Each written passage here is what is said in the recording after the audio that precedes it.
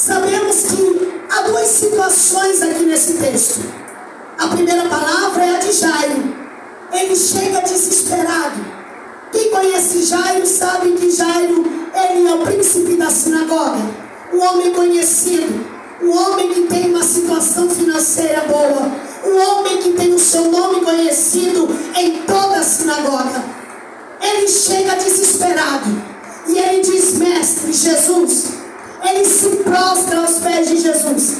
E ele diz: Mestre, eu rogo para o Senhor entrar dentro da minha casa hoje, porque eu tenho uma filha de quase 12 anos que está à beira da morte. Ele chega contando para o mestre uma situação que está acontecendo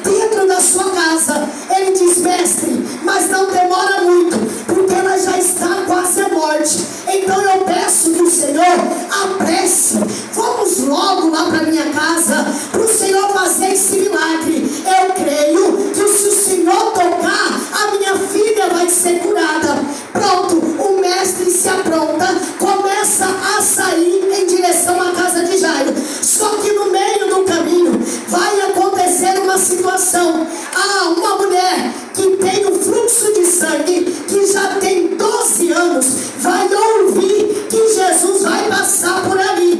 Então logo ela diz: Bom, eu já gastei todos os meus haveres, já gastei tudo que eu tinha com os médicos,